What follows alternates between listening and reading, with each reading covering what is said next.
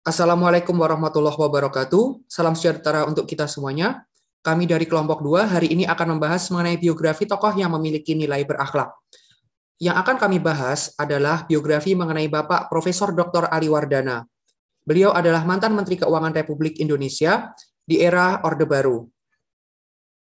Ini adalah salah satu quotes terkenal dari beliau, yaitu penggelapan pajak adalah olahraga nasional. Kira-kira apa yang menyebabkan beliau mengatakan seperti itu? Pertama, kita akan membahas profil mengenai beliau. Latar belakangnya, beliau lahir di Solo, Jawa Tengah pada tanggal 6 Mei tahun 1928. Pendidikan beliau ditempuh melalui S1 di Fakultas Ekonomi Universitas Indonesia, kemudian S2 dan S3-nya di bidang ekonomi di University of California, Berkeley. Karir beliau sempat menjadi Menteri Keuangan, Menko Ekonomi, Keuangan, Industri dan Pengawasan Pembangunan, serta Board of Governors World Bank. Karya terkemuka beliau salah satunya adalah Monetary Policy in an Underdeveloped Economy with Special Reference to Indonesia. Prestasi beliau ada beberapa, berikut adalah di antaranya. Lalu nilai akhlak apa yang dapat nilai berakhlak apa yang dapat diteladani dari seorang Ali Wardana? Pertama, berorientasi pelayanan. Beliau tidak menggunakan keuntungan dari booming harga minyak saat itu secara berlebihan, tetapi tetap melakukan pembangunan sesuai dengan kebutuhan masyarakat. Yang kedua, melakukan perbaikan terus-menerus dengan melakukan reformasi perpajakan atau tax reform yang pertama di awal tahun 1980-an. Berikutnya, beliau juga menerapkan nilai akuntabel. Pertama, beliau tegas dan berani berkata tidak untuk terhindar dari pemborosan anggaran. Dan yang kedua, beliau berani uh, dan tegas melawan tindakan korupsi. Nilai selanjutnya adalah nilai kompeten.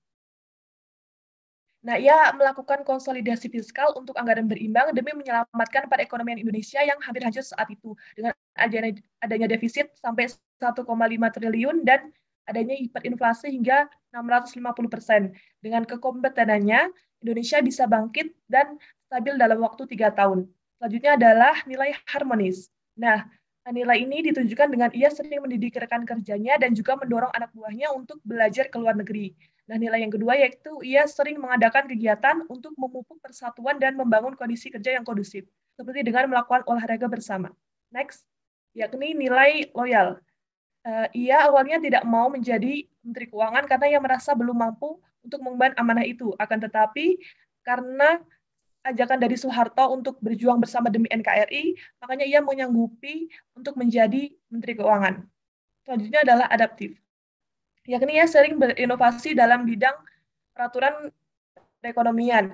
Salah satunya adalah ia merestrukturisasi utang Indonesia dengan melakukan negosiasi utang dengan Paris Club. Melalui negosiasi ini, utang Indonesia bisa diperpanjang hingga 40 tahun dengan bunga 0%.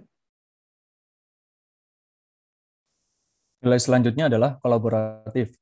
Ia melakukan kerjasama dengan pihak lain, seperti meminjam uang ke negara ODA serta berkoordinasi dengan Bank Indonesia untuk menghentikan pencetakan uang. Next.